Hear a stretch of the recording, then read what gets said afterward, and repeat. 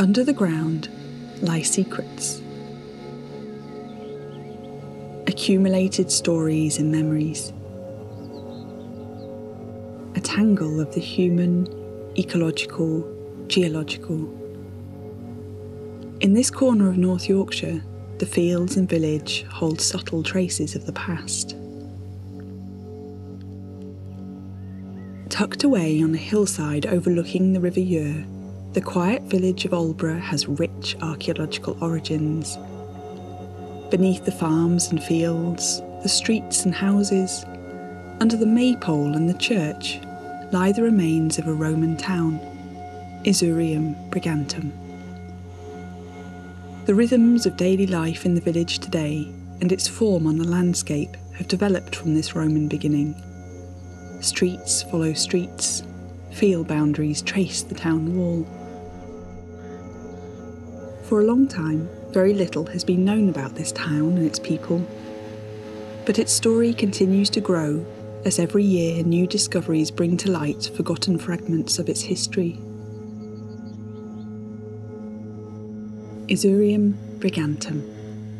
Its name tells us its status, a civitas capital of the Brigantes, the hill people the group of people who occupied a large swathe of northern England when the Romans arrived, and whose structures of power were reassembled within the new world that followed.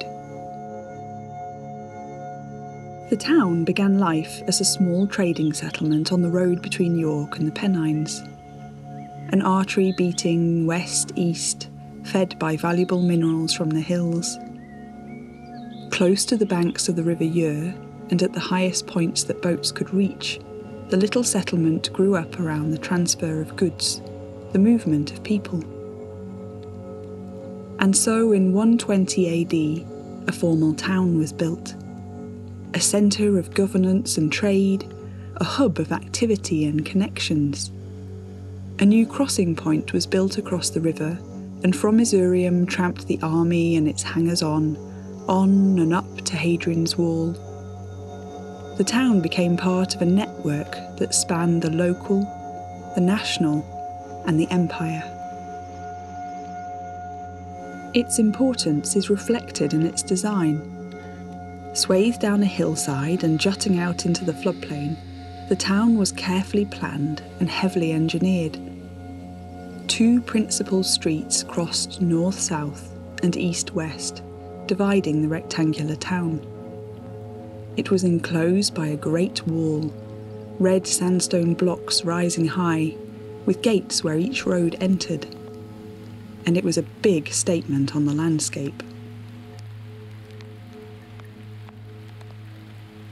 At the centre stood the Forum, a vast limestone construction, the beating heart of the town. Its location is now marked by the Church of St Andrews, which was built within the Forum Square its graveyard burying deep the fine walls of the ranges of the shops and offices that enclosed it. Excavations revealed a rare glimpse of this monumental centre. Grey blue cobble and clay foundations dug into the red sandy earth, old timbers staining the soil, a pit of molten ash and metal from its later years, reused and battered, and a trowel discarded from an earlier dig the archaeology of archaeology in rusted, forgotten form. In the south, three great terraces stepped down the slope, from which large townhouses looked out across the vale to the hills. Isurium's wealthiest inhabitants lived here, and archaeologists are using Victorian excavations and modern geophysical surveys to find out more about them. A courtyard house was equipped with a bath suite, rooms with underfloor heating, and, with cold and hot rooms, the height of luxury. The floors were made of mosaics, small stone tiles creating beautiful repeat patterns and images. Imagine the pad of bare feet over these, the luxurious warmth against the Yorkshire winds. In the house on the next terrace up, the floor of a dining room was decorated with delicate tesserae in a design of the Muses. Parts were made of glass, and Greek writing meanders through the design. These are not buildings on the far edge of an empire. These finds reflect the cultural diversity and complex connections the residents of Isurium had with the wider world. Other objects reveal aspects of life and death here. The museum was begun in Victorian times, and the collection today holds a wonderful mix of the early and more recent finds. We see the objects of everyday home life, vessels depicting myths and stories, characters formed in clay. The pots and the food and drink they held come from all round the Mediterranean, whilst others were made more locally. We see evidence of leisure time, board games, cockfighting, wrestling, some taking place in the great amphitheatre that sits perched above the town. Sitting in the tiered seats, the view would have opened up around you while the action took place below. What scenes unravelled there? How the shouts and cheers would have billowed out across the landscape below. From the amphitheatre, the funerary areas are visible, lining the road, clustering close to the south and east gates. Great monuments to the dead stood here, announcing their importance to those passing by. Pyres burnt, smoke billowing out across the other enclosures of burials and cremation grounds. Cremation pots, smoke black, hold final fragments safe in the earth. Also fired in smoke and ash, a smith's pot, decorated with the tools of the trade. This was found in recent excavations, buried within the myriad layers from a blacksmith's furnace. Traces of metal in the soil showed that lead was worked here, the air thick with fumes, loud with hammer and tongue. Not far from the workshop, in the north of the town, huge warehouses stored goods, carts rocking back and forth to the river, waiting for the seal of approval from those in charge. The river snakes along north of the town, now hunkered down, controlled, siphoned. But the Roman River will be bigger, braided, unpredictable. The floodplain would be pooled and soggy through the winter, the road north skimming through the landscape on its natural raised spur. A great wooden bridge would have crossed on sturdy stone foundations. Visible in surveys, it has been harder to find in the ground, buried metres deep beneath year upon year of alluvium.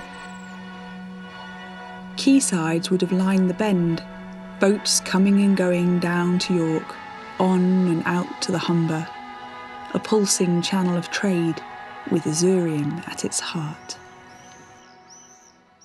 Walking round the museum grounds, the story of archaeology itself is written in the landscape. The Victorian excavations tell us not only about the Romans, but the development of archaeological knowledge and the discipline itself. Here, the town wall lies exposed, the trees of a pinetum towering above to draw the visitor on and through. A spiral of steps descends into the quarry where once stone was hewn, its face cut with niches, all grotto and fern we find connections with the archaeologists who have gone before, bound by our shared interest across time. The few men who came to dig after the First World War, women taking their place at the helm of discovery, the delight of the changing forms of recording and retelling, a beautiful history of our changing ways of seeing and understanding the world.